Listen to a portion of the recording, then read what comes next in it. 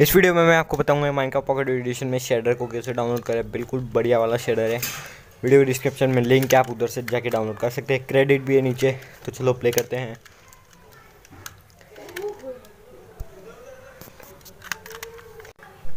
तो मैं क्रिएटिव कर लेता हूँ इसको, और रिसोर्सेज पैक्स में जाके इसको एक्टिवेट कर लेता हूँ।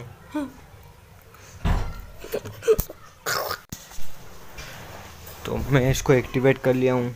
तो ये प्ले हो रहा है। जब तक ये प्ले होता है, जब तक वीडियो को लाइक कर देना चैनल को सब्सक्राइब कर देना और कमेंट में बता देना कि और कौन से टॉपिक पर वीडियो चाहिए तो मैं वीडियो लेके आ जाऊँगा। जो इस शेडर के जो क्रेडिट है, वो भी डिस्क्रिप्शन में लिंक है तो आप भाई को भी जाके सपोर्ट कर सकते हो। तो गाय ये चल चुका है। आप देख सकते काफ़ी बढ़िया है ग्राफिक है। बस इसका वाटर थोड़ा अच्छा नहीं है, लेकिन क्लीन है तो वो इसका बेनिफिट है। आप देखो, इसमें थोड़ा बहुत डार्क डार्क सा होगा, लेकिन ये काफ़ी देखने में बढ़िया लगता है। और सन को देखो गाइस क्या मस्त लगता है। क्लाउड्स देखो। देखो, थोड़ा डार्क डार्क है केव में आप देखना आप। मैं थोड़े अंधेरे में जाके आपको दिखाता हूँ। ये देखो आयरन तो चलते हैं नीचे। तो देखो, ये कुछ ऐसा लगता है अंधेरे में। मैं टॉर्च लेके आपको दिखा देता हूँ। ये देखो, काफ़ी बढ़िया है ये।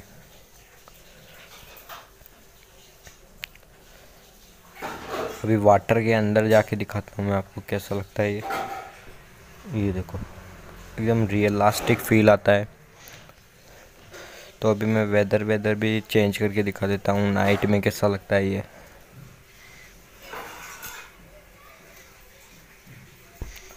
तो मैं कर देता हूँ वेदर रेन कर देता हूँ मैं।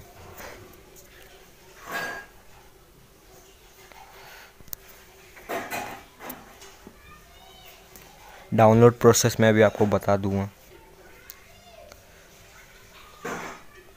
तो नाइट भी कर देता हूँ मैं। देखो क्या मस्त शो होता है ये। बिल्कुल बढ़िया है।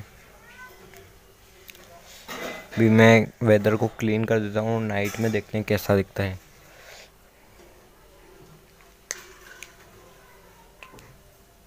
तो ये देखो गाइस काफ़ी बढ़िया है। आसमान में स्टार्स भी दिखते हैं मून भी है। वो देखो, वो रहा मून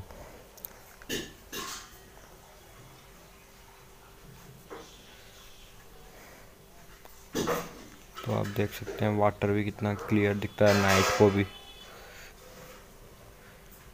तो मैं आपको लालटेन लेके दिखा देता हूँ, अंदर कैसे लगता है तो देखो। एकदम ही मस्त वाला फील होता है।